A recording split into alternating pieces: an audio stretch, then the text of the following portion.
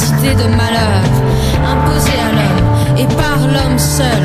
Sinon, dans notre acharnement à défendre la civilisation qui préside aux destinées des nations dominantes,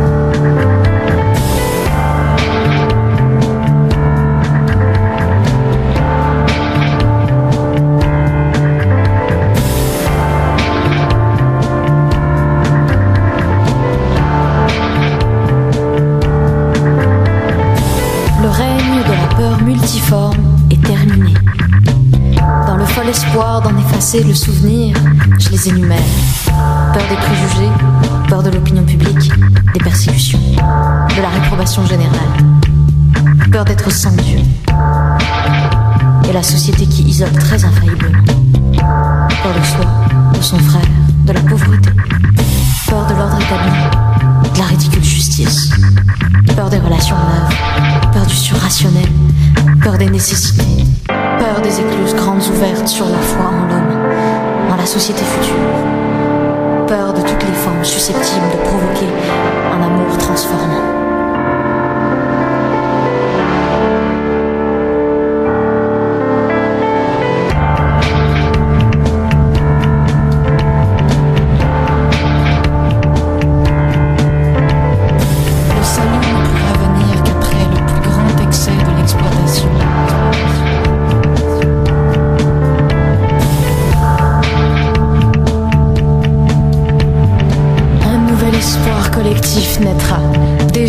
Il exige l'ardeur des lucidités exceptionnelles, l'union anonyme dans la foi retrouvée en l'avenir, en la collectivité future.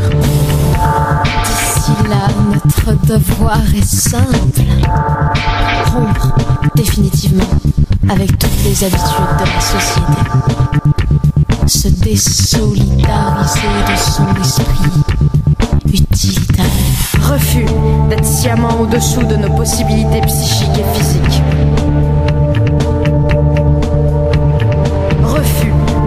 Les yeux sur les vices, les duperies perpétrées sous le couvert du savoir, du service rendu, de la reconnaissance due.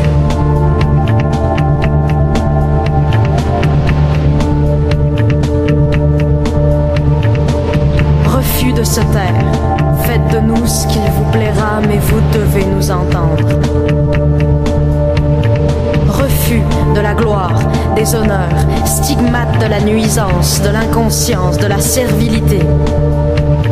Refus de servir, d'être utilisable pour de telles fins.